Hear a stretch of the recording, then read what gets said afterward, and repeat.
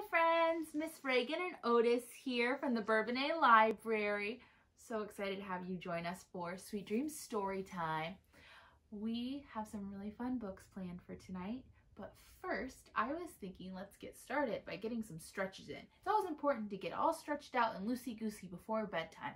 That way you're ready for good sleep. You ready? Let's do it.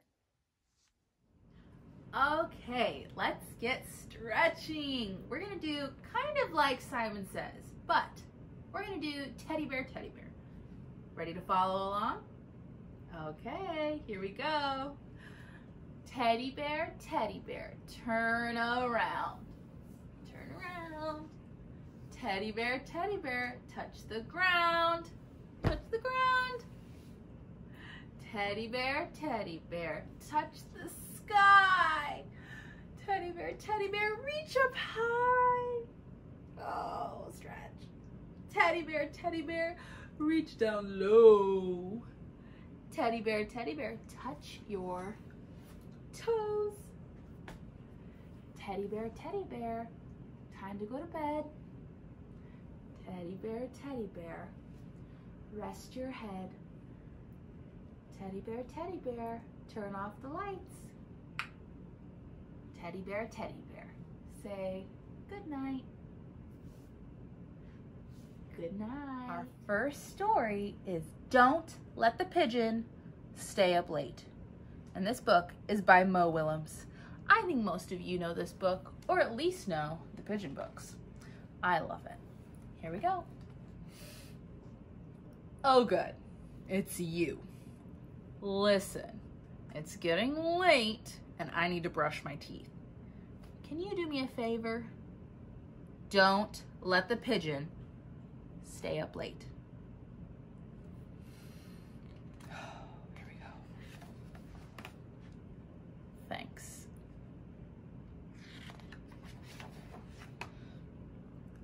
First of all, I'm not even that tired. In fact, I'm in the mood for a hot dog party. What do you say? No? Hmm.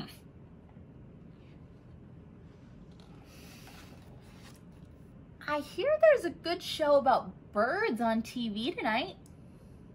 That should be very educational.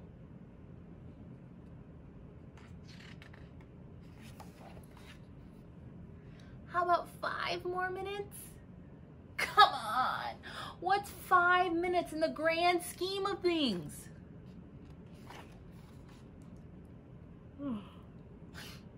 What?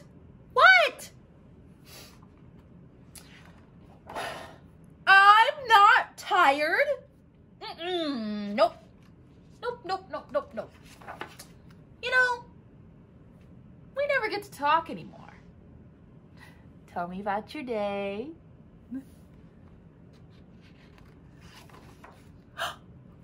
oh, I've got a great idea.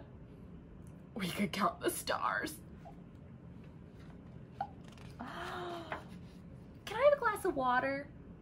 Studies show that pigeons hardly need any sleep at all. It's the middle of the day in China. I'll go to bed early tomorrow night instead.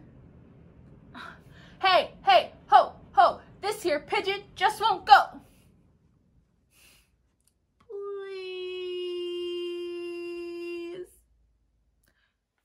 My bunny wants to stay up too.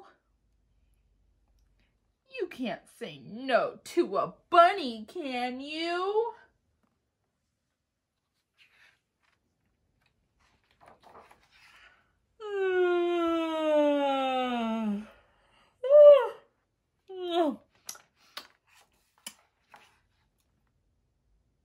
Okay. That was not a yawn. I was stretching. I'm 110% awake. You haven't heard the last of me. Oh.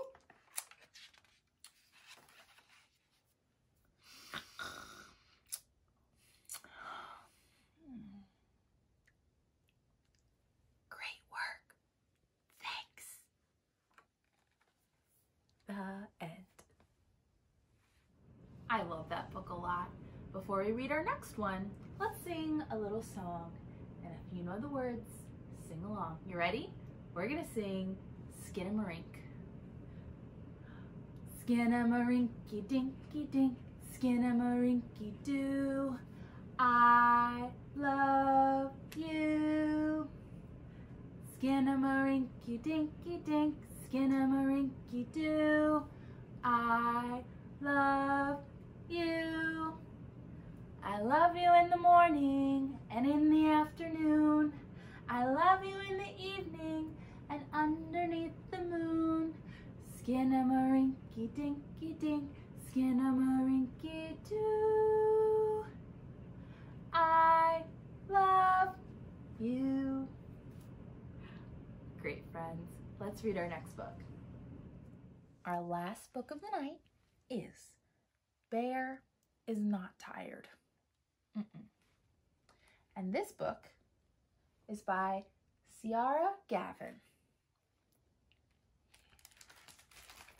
Ooh, these are some nice pictures. Bear is not tired. Bear and the ducks lived together under the same roof. They were one big happy family. Sometimes Bear forgot that he wasn't a duck. He hardly noticed the difference. Then, one morning, there was a sharp chill in the air. The ducks didn't mind, but the cold tickled Bear's nose. It could only mean one thing. Winter was coming.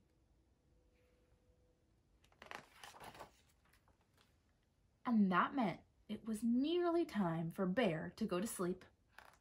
He had been having so much fun, he'd forgotten all about it.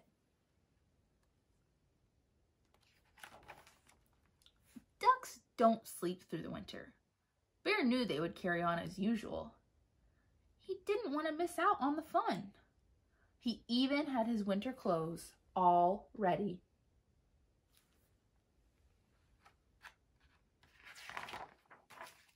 So Bear decided to stay awake. After all, he wasn't feeling the least bit sleepy. But the ducks began to notice a change in Bear.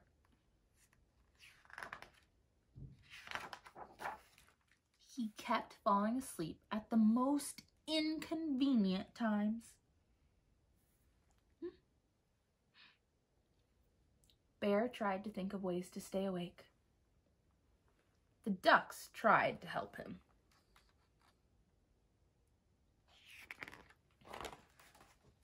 But nothing worked. Every sound was a lullaby. The rippling of the water, the hum of the washing machine, the tap, tap, tap of baby duck's feet. Bear was so tired, nothing made sense anymore. Mama Duck said Bear couldn't fight who he was. Bears are bears, and bears are supposed to sleep in the winter.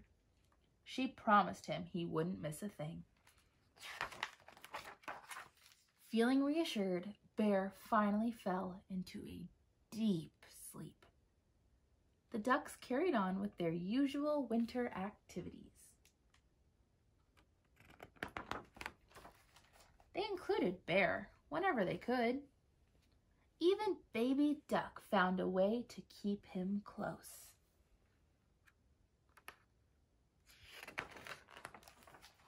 Then, one morning, Bear sat up and opened his eyes. It was spring, and Mama Duck had kept her promise. She even had the photos to prove it. The. Might not be springtime yet. It's still winter, but it is bedtime. Thanks for reading. Thank you so much for joining us for our sweet dream story time. Otis, are you ready to say goodnight? But first, let's sing Twinkle Twinkle Little Star. You ready? Twinkle, twinkle, little star, how I wonder what you are. Up above the world so high, like a diamond in the sky. Twinkle, twinkle, little star, how I wonder what you are. Say goodnight, Otis. Good night. Sweet dreams.